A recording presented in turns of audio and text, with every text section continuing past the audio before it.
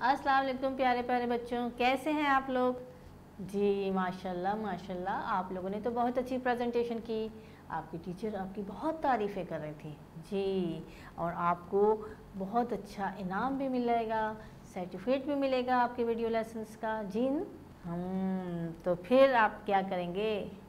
हम्म, तो आज हम करते हैं चैप्टर नंबर सिक्स की स्टोरी जानते हैं और कुछ नए वर्ड्स जो हम इसमें पढ़ेंगे, हम पढ़ेंगे कुरान। कुरान जो कि अल्लाह की आखिरी किताब है। अल्लाह ताला ने हज़रत मोहम्मद सल्लल्लाहु अलैहि वसल्लम जो कि ख़ातम नबीन हैं, उन पर नाजिल फरमाई। और कुरान जो हमारे लिए हर लम्हा हिदायत है। हमारे रमज़ान मुबारक में ये नाजिल हुआ और ये अल्लाह ताला का तोहफ़ा है। कुरान करीम पढ़ने से पहले हमने पहले भी जाना है कि वज़ू करके हम कुरान शरीफ को हाथ लगाएँ और कुरान शरीफ पढ़ते हुए बिल्कुल आप इधर उधर की बातें नहीं करेंगे और अपना जो आप सबक पढ़ रहे हैं उसको याद करेंगे। ठीक है ना? आप लोग तो कुरान शरीफ पढ़ रहे हैं ना बच्चों? डेली पढ़ते हैं, कारी साहब आते हैं, उनसे पढ़ते हैं और कुछ बच्चे ऐसे भी हैं जो कि आप मस्जिद जाके पढ़ते हैं। ठीक है? तो कुरान शरीफ हमें रोज़ पढ़ते रहना चाहिए। हमारी ये किताब अल्लाह ताला ने लम्हा लम्हा आहिस्ता आहिस्ता करके हमारे प्यारे नबी सल्लल्लाहु अलैहि वसल्लम पर वही के ज़रिए उतारी गई। वही के ज़रिए उतारी, कुरान शरीफ को सूरतों की शक्ल में फिर एक तरतीब में रखा गया, पारों की शक्ल में तीस पारे बनाए गए, जो कि कुरान शरीफ के नज़ुल और अख्ताम से लेकर तमाम सूरतें जितने हैं, वो उसमें शामिल हैं। अल्लाह ताला ने हमें ये एक इनाम दिया है और अपना पैगाम जो है वो हमारे तक पहुँचाया है, ताकि हम अपनी ज़िंदगी का जबता हयात उसके मुताबिक तय कर सकें कि हमने क्या करना है। कुरान शरीफ हर बंदा पढ़ सकता है, हर मुसलमान पढ़ सकता है। ज़बान भी आसान है, सहल है और अरबी ज़बान में नाजिल किया गया है। और हम जब कुरान शरीफ पढ़ें तो हमें कोशिश करना चाहिए कि हम जो लफ्ज़ पढ़ रहे हैं, उसके मायनों के साथ पढ़ें। उसका मतलब जानें, उसका मतलब समझें और उसका वो चीज़ देखें कि ये लफ्ज़ हमारे, अल्लाह ताला ने नाजिल किया और उस ज़माने के हालात क्या थे और किस तरह उसमें ना, अल्लाह ताला ने इस चीज़ को समझाने की कोशिश की। ठीक है? कुरान शरीफ जो है, वो उसकी सबसे बड़ी सूरत सूरत नंबर दो, यानी सूरत बकरा है। सूरत बकरा वो तमाम चीज़ें कवर करती हैं जो कि हमारी ज़िंदगी में ज़रूरी हैं, नमाज़ का हुक्म, ज़क़़त देने का हुक्म और अल्लाह ताला को मानने का हुक्म, योम आखरत पे ईमान और नबी करीम सल्लल्लाहु अलैहि वसल्लम की ज़िंदगी के वाक़ात ये तमाम चीज़ें कुरान शरीफ में दर्ज हैं। आपको पता है कुरान शरीफ की सबसे छोटी सूरत कौन सी है? जी, सूरह कौसर, कुरान शरीफ की सबसे छोटी सूरत है, जो कि अल्लाह ताला ने नाजिल फरमाई और तरतीब में सबसे आखिरी पारे सूर्य अम्मा पारा में इसको रखा गया है। कुरान शरीफ, जो कि दिलचस्प वाक़ात और दिलचस्प कहानियों पर भी मुश्तमिल है। ऐसी कहानियाँ जो कि सच्ची हैं, हमारे नबियों की हैं पैगम्बरों की हैं, उनके उनके असहाबा की हैं। और हमारे नबी सल्लल्लाहु अलैहि वसल्लम उस ज़माने में किस हालात को फेस करके आगे बढ़े, उन तमाम वाक़ात में अल्लाह ताला ने नबी सल्लल्लाहु अलैहि वसल्लम को तसल्ली और रास्ता दिखाने के लिए वो सूरतें एक के बाद दीगरे नाजिल फरमाई और हमारे प्यारे नबी सल्लल्लाहु अलैहि वसल्लम ने कुरान शरीफ को याद किया। कुरान शरीफ को याद किया और अपने उस ज़माने के जो सहाबा कराम थे, उनके ज़रिए आप वसल्लम ने कुरान शरीफ को लिखवाया और महफूज करवाया।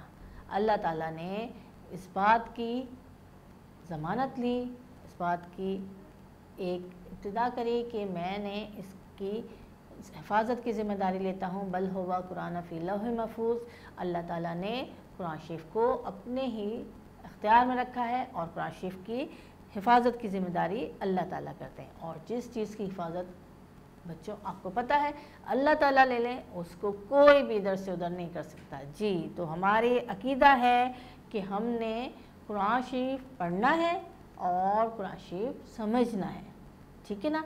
वो नेक लोग जो कुरान शरीफ पढ़ते हैं और दूसरों को पढ़ाते हैं, इससे बड़ा सदका जारिया कोई भी नहीं है।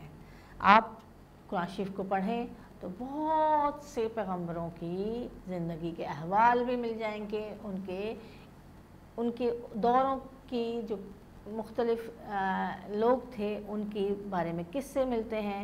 आ, सबसे पहले देखते हैं कि अगर हम कुरान खोलते हैं तो हम अगर एक देखते हैं कि हमारे जो एक पैगंबर हज़रत इब्राहिम जो कि बुतों को तोड़ चुके थे। अल्लाह ताला को मानते थे, खाना काबा की हिफाजत करते थे।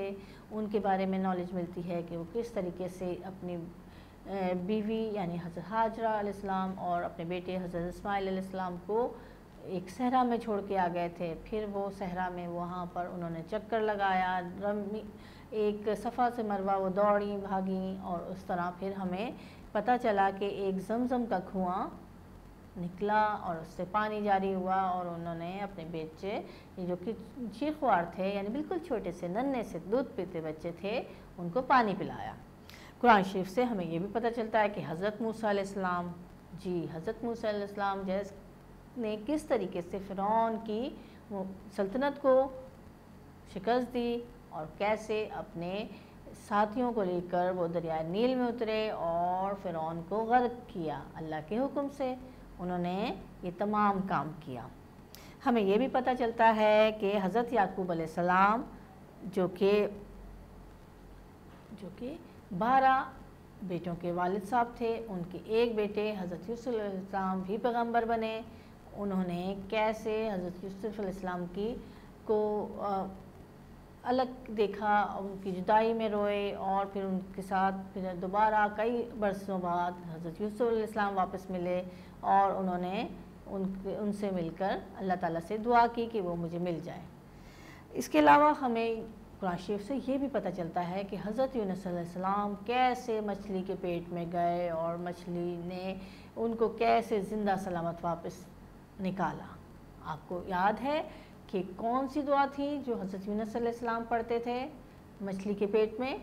जी, हज़रत यूनसम ने पढ़ा, ला अंत सुबहान का इन्नी कुन तुम वो उन्होंने ये दुआ पढ़ी और मछली ने बाकायदा उनको ज़िंदा निकल दिया। अल्लाह ताला ने उनकी दुआ सुनी। आज ये दुआ हमें आयत करीमा की शक्ल में मिलती है और हम पढ़ते हैं।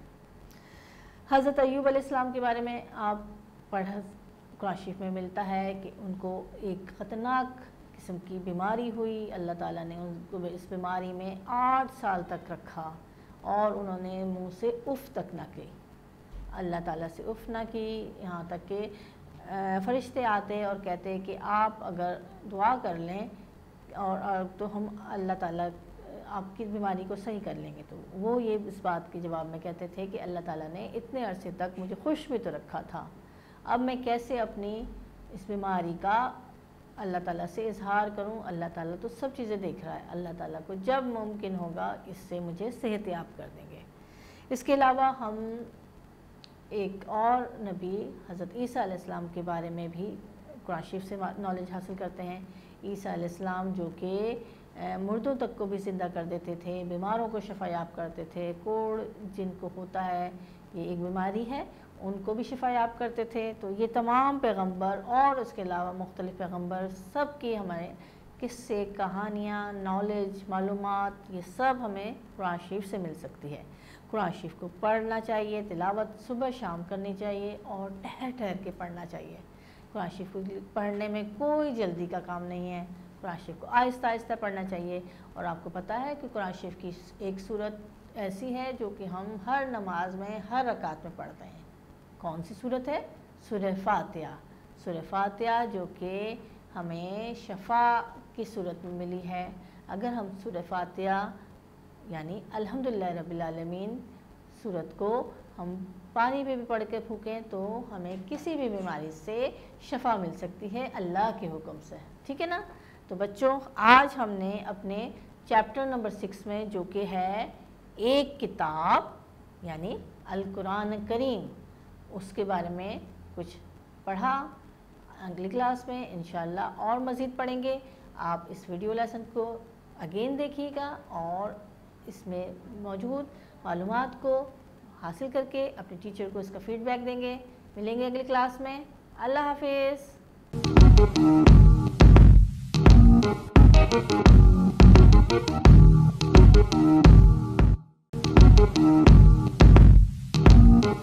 Thank